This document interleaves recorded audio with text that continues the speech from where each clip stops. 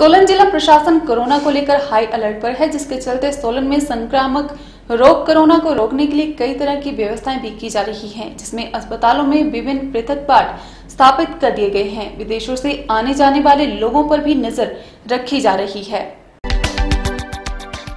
सोलन जिला प्रशासन कोरोना को लेकर हाई अलर्ट पर है, जिसके चलते सोलन में संक्रामक रोग कोरोना को रोकने के लिए कई तरह की व्यवस्थाएँ की जा रही हैं, जिसमें अस्पतालों में विभिन्न पृथक वार्ड स्थापित कर दिए गए हैं। विदेशों से आने जाने वाले लोगों पर विशेष नज़र रखी जा रही है। उनके लिए समूचे ज़िले में क्वार्टराइन केंद्रों की व्यवस्था की जा रही है ताकि अगर विदेश से आने वाले लोग अपने आप को अस्पताल से बाहर ही चौदह दिनों तक क्वारंटाइन केंद्रों में रहना चाहते हैं तो उनकी व्यवस्था वहाँ की जा रही है। ये जानकारी उपायुक्त सोलन केसी चमन ने दी। उपायुक्त सोलन केसी चमन ने बताया कि जो भी व्यक्ति विदेश से आ रहा है तो उसे चौदह दिनों तक क्वारंटाइन केंद्रों में रहना पड़ेगा। अगर वह विदेश से आने वाली बात जिला प्रशासन से छुपाता है तो इसे एपिडेमिक एक्ट के तहत बाध्य भी किया जा सकता है। उन्होंने कहा कि अगर कोई व्यक्ति सोशल मीडिया या अन्य माध्यम से कोरोना को लेकर अफवाहें फैलाता, पाया गया तो उसके खिलाफ भी सख्त कार्रवाई अमल में लाई जाएगी। उपायुक्त सोलन ने शहरवासियों से आग्रह किया है कि वे भीड़ भाड़ वाले क्षेत्र में न जाएँ और अपने हाथ समय समय पर साबुन से साफ़ करते रहें। कोरोना में से डरने की ज़रूरत है कि अभी तक जो भी केसेस वही पाए गए हैं, जो या विदेश गए हैं या विदेश से आए हैं।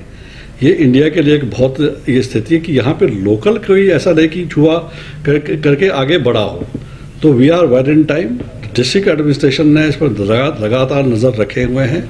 हॉस्पिटल में सारा जो आइसोलेशन वार्ड तैयार हैं। और जहाँ तक लोगों को एक सोशल मीडिया में जो डराने आने का है कि बहुत ही ज़्यादा सेंसेशन सतर्क रहने की आवश्यकता है डरने की आवश्यकता नहीं है। जैसे विदेश से आए हैं वो क्वारंटाइन में चौदह दिन के लिए रखे हैं क्योंकि इसका कैरियर पीरियड चौदह दिन का है। उसके लिए हम ये कि एडवाइस ये अब एपिडेमिक एक्ट भी लागू हो गया एटीन नाइन्टी सेवन का। उसमें प्रावधान है कि क्वारंटाइन एक्ट में जो आदमी जो बाहर से विदेश इफेक्टेड कंट्री से आ रहा है, उसको उसी जगह पे उसको रखा जाएगा। हर एक आदमी को सुनिश्चित है कि वो अपनी सूचना देगा कि मैं विदेश से आया हूँ।